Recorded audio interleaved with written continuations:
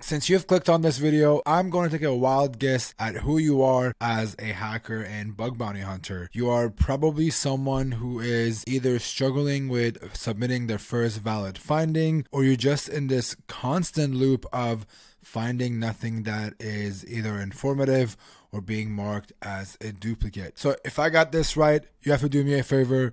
You have to drop a subscribe, click that subscribe button, and become a homie and in return, what I'm going to do is I'm going to share some habits and some skills that I think you need to have in order to become a successful bug bounty hunter, web hacker, or just someone who wants to find and file this first valid bug. A lot of time what I see from a lot of people is that they think that they're not a successful bug bounty hunter or they're not good at web hacking or just hacking in general outside of bug bounty hunting is because they don't have either the knowledge or they're not putting the amount of effort as they should. And I, while I think the two of those play a huge role, which we'll talk about in a little bit, but I think there's also a little bit more than that. And I think the most important thing outside of knowledge and effort is to have the right amount of focus as well as having a structure and a way where you're gonna achieve your goals.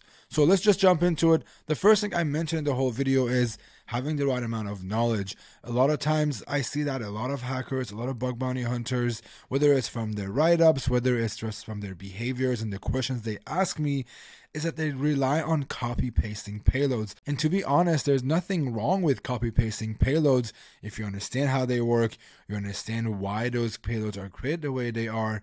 There's nothing wrong with that, but a lot of times, a lot of you don't know why they work and how they work.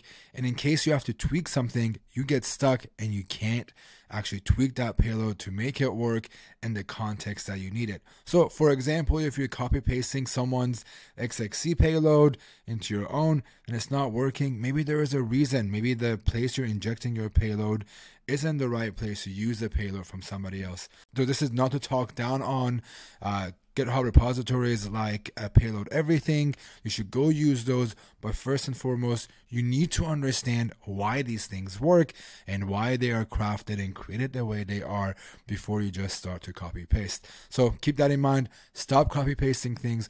Go understand why they work, how they are created, why they are created a specific way before you copy paste them. So in the future, you can tweak them and use them for your personal use case. Which the next thing about the knowledge thing is I think there is a lack of knowledge because there are enough resources like your try hack me Hack The Box or even the free resources like your website academy or your hacker 101 there's enough resources to understand these different concepts but it's just a matter of how in depth you understand these topics before you can actually use them. So in theory I understand that a lot of people know what an XSS is, what is an SSRF, or what is an IDOR, but a lot of times people can't explain why these vulnerabilities happen and how to fix them. And honestly, having this understanding of knowing why these vulnerabilities work, how developers can fix them, gives you a better understanding of how to look for them because now you can start thinking about how the developers may have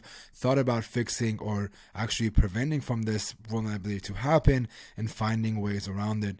So if you're just getting into web hacking, your goal is to become a top hacker, your goal is to become a AppSec engineer, whatever the goal is, you really need to understand these vulnerabilities in depth. So not just how to look for them and exploit them, but you also need to understand how developers get ahead of them and prevent them or fix them to get a better understanding of these vulnerabilities. And honestly, it gives you an advantage in overall when it comes down to hacking. So that's the knowledge portion of this video that I wanted to talk about. You really need to look at the knowledge of hacking, not just as to look at vulnerabilities and exploiting them by copy pasting payloads, but really understanding why do they work, how do they work, how they're prevented, and how these payloads work in order to exploit them. And not being able to do all that is going to eventually bring you to a dead end. And I think that's what a lot of people get burnt out and they don't find vulnerabilities or they don't get to go to the next level.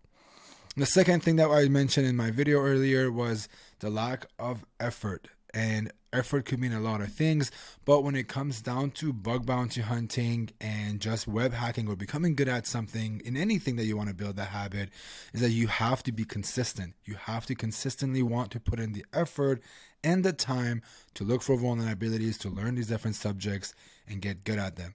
And honestly, a lot of people suck at bug bounty hunting or they give up too early because they don't want to spend enough time on a single program. I think Justin, uh, aka Rhynorater, he posted this tweet right here where, where he said that he recommends spending, I think, anywhere between 16 to 18 hours on a bug bounty program before you find your first vulnerability. And let me tell you why that's important because I think it takes more than a couple of hours just to understand the nature of a web application. So that means what is this application supposed to do? What are these different functionalities? What are the different injection points? What are the different things I can exploit? The threat model and so on. So a lot of times I see that people are giving up way too quickly because they're not finding any vulnerabilities within the first few hours. Or even worse, a lot of you not only rely on payloads, but you're also relying on too much automation. So not only to spend more time on looking for vulnerabilities on a single program, but you also need to forget about all these automations, all these stupid one-liners that people use before you actually find your first vulnerability. So, for example, I've seen a lot of times on Twitter, people post these ridiculous one liners where it says, Hey, use this one liner to find all the subdomains, all the subdomains endpoints, and then feed it to some random tool that either looks for cross site scripting, looks for SQL injection, and so on. I need you to forget about all of those, and I need you to really focus on finding the right methodology for you that works for you in order to find these vulnerabilities. Just forget about using Nuclei for now, forget about these one liners, and really, really focus on finding vulnerabilities manually, mastering how to look for them, how to fix them, and how to explain them to someone non technical. And the last thing that I think a lot of people need to really think about is what I mentioned you need to focus and you need to have the right structure in your life in order to become good at any habit and anything you do in life, you need to have structure and really a way to focus. The biggest thing for me was to actually take my phone and be able to put it aside and not go on it for a long time, dropping down my little menu right here and putting my phone completely into focus mode and not worrying about anybody else and anybody trying to get a hold of me and it just honestly zoning out and putting my headphones on and working on what I'm working, but also taking it a step further and saying that this is my goal for this month, for the next six weeks, eight weeks, whatever that timeline is, and saying that I'm going to learn X in that time frame. So, for example, if you're new to web hacking or you know these concepts or basic concepts you want to get better, I want you to sit down and say, "Hey, in the next 4 to 6 weeks, I'm going to dedicate all my free time, all the free time that I have outside of my family time, outside of my gym, my mental health and all that stuff to learning cross-site scripting." So, go look at all these different free resources like your Hacker 101, go on WebSec Academy, look at all the cross-site scripting resources they have, look up additional cross-site scripting challenges and labs and really understand how they work and then go on and finding a VDP or a vuln disclosure program where you can look for vulnerabilities for free and get recognized for your work or even better looking at a bug bounty program and finding those vulnerabilities. So do me a fat favor. I really need you to think about the structure. This is the times, this is the hours I'm going to put in. Maybe you give up playing Counter Strike or giving up Call of Duty Warzone for a couple of days or a couple of hours a day to dedicate that free time into looking for these vulnerabilities in order to become much better at them. So, before we wrap up the video, here is what I think you should do. Pick one bug type that you want to get good at, look at all the resources for it, understand how they're vulnerable, understand how the different payloads are created for it, and also do all the different resources you can, and then move to phase two where you pick a VDP. Let's say you want to hack on GM or IBM, and you set a goal to find three, four, or five cross-site scriptings, and you don't give up until you find those.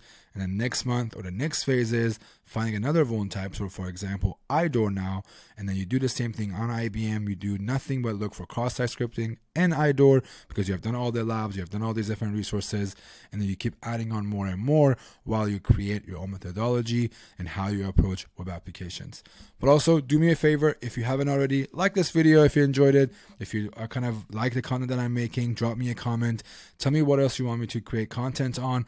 Or maybe if you want a part two of this video, drop me a part two. Tell me if this video helped, and I'll try my best to make a part two to explain more in depth of what to do and how to become better at bug bounty and hacking. All right, that's it. I will see you all in the next video. Peace.